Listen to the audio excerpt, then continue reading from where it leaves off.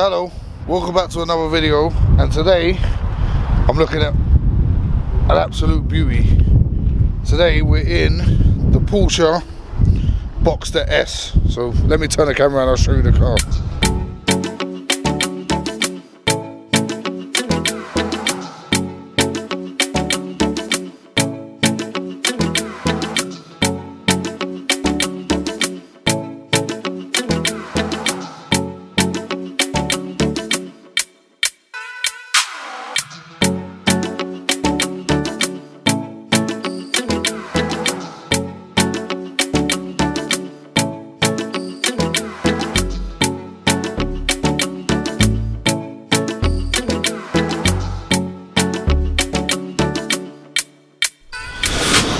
Right, as you can see, it's a beautiful car.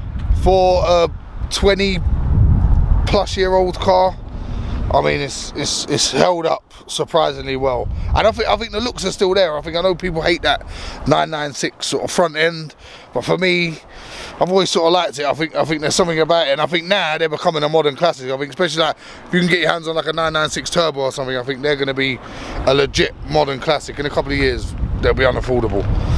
And I think this, at the price it sits at, I don't think you're going to get anything better for the money. But all the pleasure in this car is in the driving. So let me set up the cameras inside, we'll jump in, we'll go for a little cruise.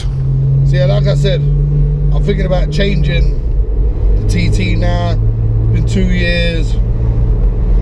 Is it time for a change? I know it wasn't many videos ago when I said I wasn't changing it, but we change our minds. That's that's the privilege of being a, a petrol head, isn't it? You're constantly changing your mind, and I feel like is a Porsche the way to go? Is a 996? Is a 997? Is a Boxster the way to go? I mean, driving this, I couldn't be happier. It's, it's comfortable. It's got all mod cons. I mean, there's a few upgrades I'd probably do. So there's a few upgrades the owner's gonna do. We'll, we'll follow this car for its journey 100%. But I mean, just listening to that noise for the driving pleasure, which is really what we want a car for. This gives you everything you want. I mean, I could do with the back seats, but kids can run along behind?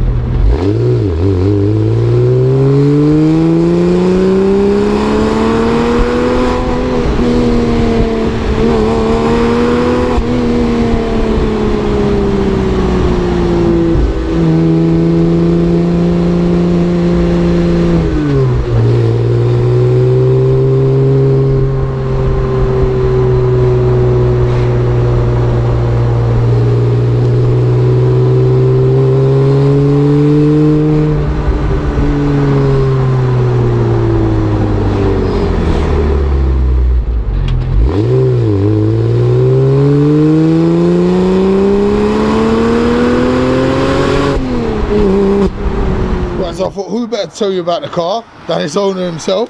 This is Chris. What's up, Say hello, Chris. What's up? Tell us, talk us around your car. Yeah, so basically it's a 2001 Porsche Boxster S. Yeah. And um, it's had quite a lot of mods on, so I'll talk you through some of them right now. Um, first of all, it's had a red roof replacement. So the normal ones, they come, with- they used to come with a black roof and a plastic rear screen. Yeah. This has got a, um, a facelift red roof, and it's got a glass heated rear screen as well. Nice. So it's got that. It's got this rear spoiler. Not too sure how I feel about it yet, but it's alright, I guess. Um, it's also got another spoiler. Let me. Um, We should say you ain't owned the car for long. No. It's a new car, so you're gonna put your own stamp on the car. exactly, exactly. So um, I quite, I, I quite like that. I quite like. And that one, that's an active spoiler. yeah, that one, an yeah. spoiler. It comes Okay. up above uh, 70 miles an hour, or you could put it on yourself. Tell us about this exhaust. So this is a Janspeed. Um, it's a Janspeed rear box. Okay. um, and uh, and uh, the the pipes as well.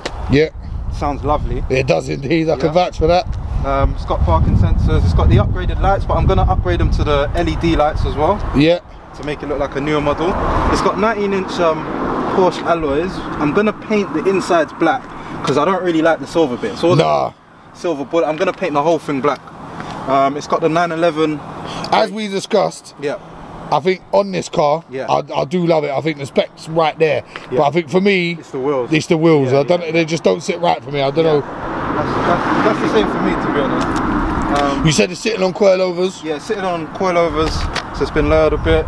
It's got the um, upgraded uh, side indicators and headlights. It's got that electronic uh, uh, Xenon original t- uh, Because the, the standard ones was this bit here, not orange. Yeah, this bit was orange. So this is like upgraded So is on the upgraded, 996, yeah. right? And this is uh, it's got the um, it's got the uh, uh, electronic. They call it electronic, but it's basically the Porsche Zen- Xenon lights. Okay, So okay. they're standard Porsche uh, Xenons. Um, I put my private plate on it. I'm gonna get these painted black as well. yeah, that's that's, just to that's the a must. of the body. Yeah, You know with that everything blacked out. exactly. Obviously you got that the beautiful badge there. Yeah, the Porsche badge. And um, most of the stuff is actually done to the interior. Okay. So with the interior now, I'll just open the door so Yeah, you yeah. can see. right. So this shouldn't look nothing like this. So on Okay. this is the first um the first gen Porsche 986. So with the first gen, it didn't have a glove box. It didn't actually come with a glove box. I never box. came with one. No, and they don't, they don't come with a glove box. Okay. The 2003 to 2004, so 2003 2004, they they changed loads of things, including the glove box. Okay. It also didn't have cup holders. So these cup holders, they're from the upgraded model. Now, let me get a good look at these because I like these. So look, you got you got a single got cup. and then you can pull it out if you've got two. Now that is over Porsche engineering Yeah. all day long, and I love that. I think that is such a feature. Yeah. Obviously, I'm taking it your full Alcantara wheel there Alcantara. isn't standard. It's not just the steering wheel as well. You'll see um if you look at the side Let of me. the door handle. I'm I'm gonna fly around the other side. Yeah, yeah. There you see that red roof. I mean, that red roof really sets it off. I love that. It's also got the red seat belts. Red belts. Red belts, yeah. Well, matchy matchy. so yeah, so and your dials there don't look standard either Yeah, so me. these are the um, 911, 996 dials because normally the Porsche Boxster only has three. Okay. So this has got the five from the 911. So that's also been done. Uh, and that gives it a real nice. That's a real, real driving position there. Exactly. So you got the Alcantara. If Yeah. you look on the side of the door handles as well, and where your um, Oh, so this is all Alcantara. Yeah, This is all and Alcantara. this middle bit here, Alcantara. Oh, see, so they've all been retrimmed. Okay. Yeah. You got an aftermarket unit in there. Yeah, aftermarket unit, uh, Pioneer unit. Um, it's got the big, uh, the the sport seats. They're- I will really say for the seats, they are snug. Very I mean, I'm a the chubbier guy. they are snug. They are very snug. Yeah. Um, not this comfortable though. I mean, Yeah, we've been they're driving around for a while. They're, not really comfortable. Tight. They're tight. But when you're driving on these sort of roads, I think You need alright, it. Yeah. I think on a road trip, Yeah. it might, it might, it might get me down a little bit. But for now, they're doing it. It's alright. Yeah. You got We- the um, Bose system as well. Upgraded Bose. Okay. Oh yeah, we've got both speakers all round, Um, heated seats, reverse sensor. So it's, it's quite a good. and everything in this car works. Everything works. There's nothing. We've obviously got that all important manual gearbox, which you cannot go wrong with. Yeah. So have you found? How long have you owned it now? I've owned it probably like two weeks now. And how you finding it? It's the best Any car problems? I've ever owned. No problems. Best car you've Best ever owned. I've ever owned. Coming out of the TT Mark Coming out II? the TT Mark II. I've had two TT Mark IIs. I've had a BMW 435i, a Range Rover. This car's by far the best. yes. Yeah, this car's the best. Big It's talk, not the big talk. fastest, but it's it's the most enjoyable. Okay. Like, in this, I feel like I'm driving like a a little Ferrari or something. Do you know what I mean? So you think you think? Uh, I'm trying to think of the word. Not badge snobbery, but Yeah. you think the badge I lifts don't- it?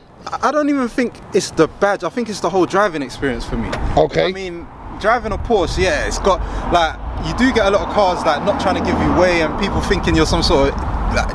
Especially with the roof down, music playing. with the roof down. You look like a but like, I, I couldn't be more happy when I drive this car. I couldn't. Yeah, to be fair, well, I've been driving it for what half hour, 40 minutes. Yeah. And I, I can see that. You I can see I why, mean, I- innit? I'm looking. I'm already thinking of auto trader on the way home.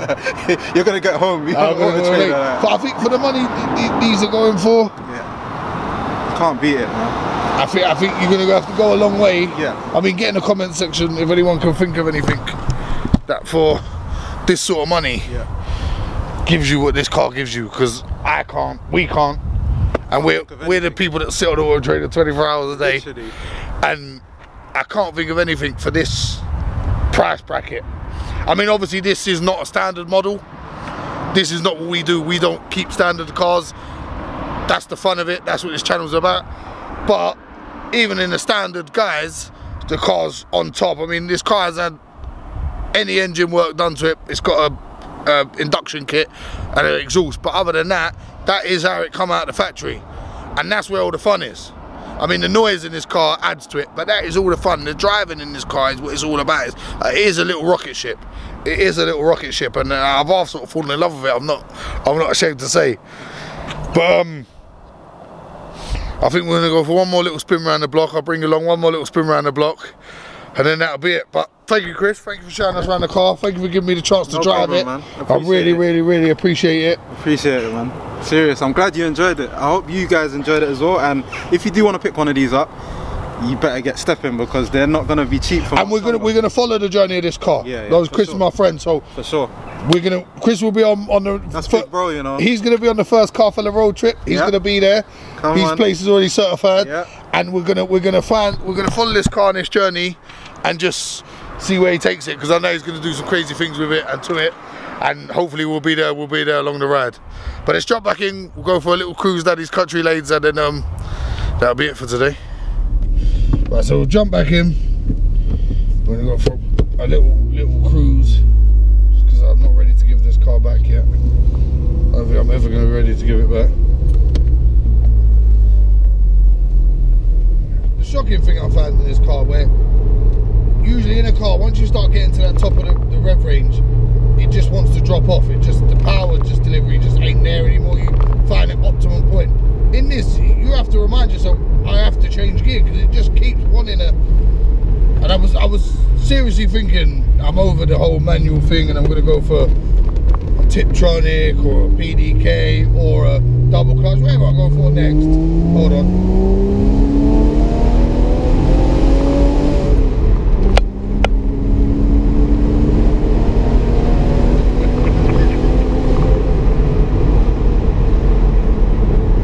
Yeah, like I was saying, that I'm gonna go for something that's auto most of the time, and I can flip it over, do some flappy paddles or whatever. But uh, I'm loving the manual in this, man. I'm loving the manual. Don't know if I'm ready to give that that sort of driving experience up for just so I can mosey around to the shops. I think maybe I'll just keep the focus for the shop trips and sports car's gotta be a manual. I think it's gotta be. So this car has changed two things for me. I've never been a convertible guy. I've been loving the convertible. I mean, the roof's been down, bases that I got in it, and I'm, and I'm, I'm, I'm, I'm I've never really been. It sounds thinking, but I've not that I've owned one, but I've never really been a massive Porsche guy because I've always just been like, you know, is that you see them all the time. They're not like they're not all that like specialness. But I see what people mean now where it's like, I'm about the driving, man. I'm about the driving. All that, oh yeah, look, look about, like, look at this, look at that. It's nice to have a car people look at. Lucky for that, but a car that has curb appeal. That's the one I'm thinking of. A car that has nice curb appeal is nice. Yeah, I don't. I think that curb appeal sometimes is all you want, but then really, when you get to the country roads, there ain't no curbs. I'm just trying to enjoy this. I'm trying to enjoy the driving.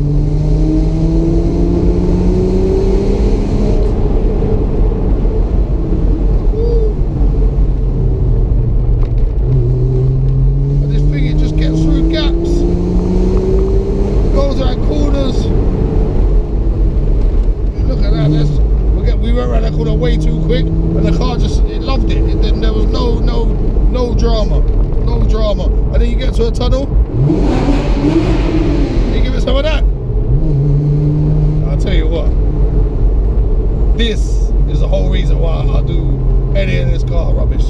This is why you do it for just driving, enjoying friends, enjoying cars, and just causing a scene in a country lane. This is just what it's all about. That's what it's all about.